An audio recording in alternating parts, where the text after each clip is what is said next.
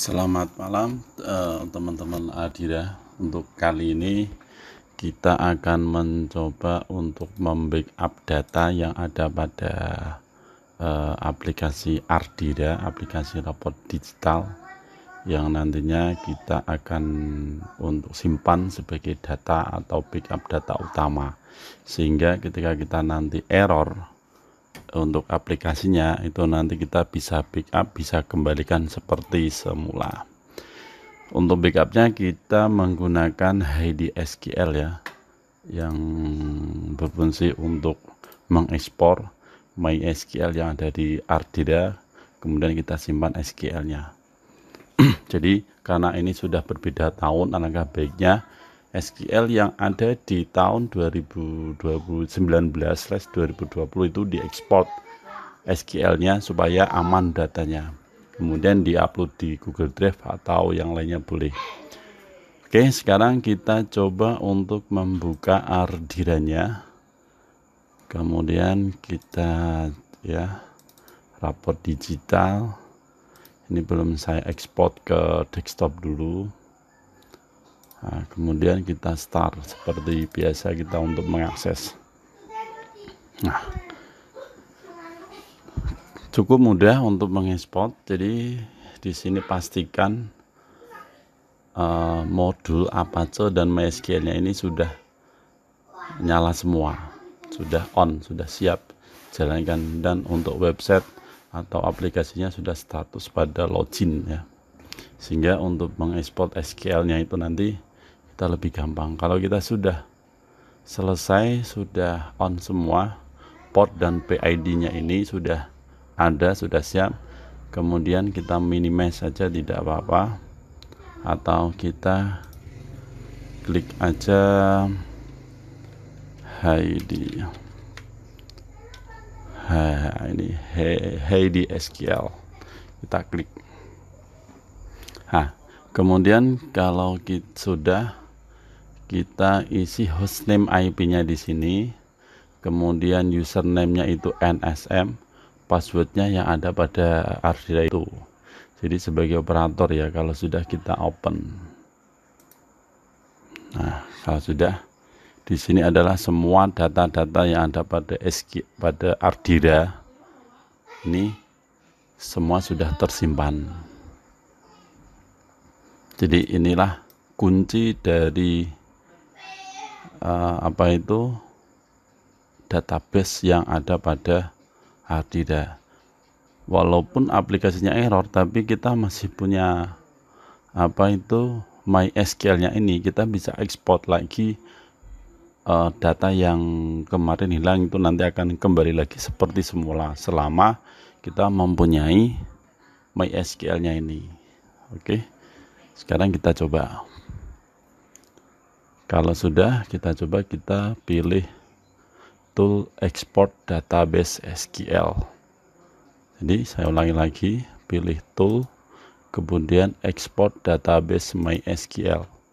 Nah, kita pilih database yang mana yang akan kita simpan. Nah, ini ada beberapa apa itu MySQL yang ada pada PHP admin. Kemudian kita pilih saja pada madrasah raport rapor ya kita semuanya dicentang lagi ini ya ini ada absen rekap. Nah, ini semua sudah lengkap isi-isinya. Kemudian kita pilih madrasah rapot. Kemudian kita pilih pada tabel drop read nah kemudian kita klik penyimpanannya. Nanti kita simpan di mana? Boleh nah setelah itu nah ini sudah namanya apa atau kita kasih saja file baru di sini ya. Dbr dira. Nah. kemudian kita simpan saja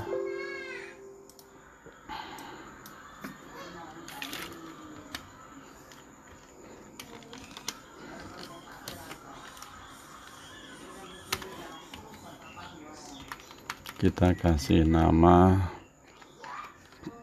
dbra mana kemudian kita ekspor nah ini proses penyimpanannya kalau sudah selesai bergerak berarti sudah selesai. Kita cek apakah sudah ada. Nah, di E. Nah inilah file kunci dari Ardida.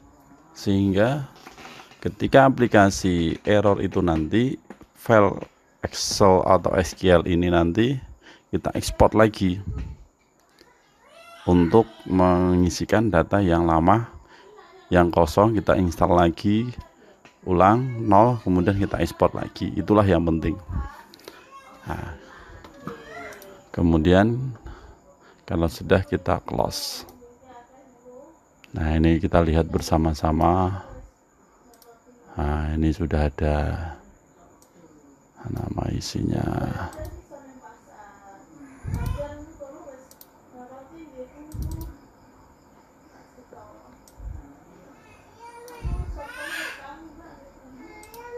Hmm, ini datanya.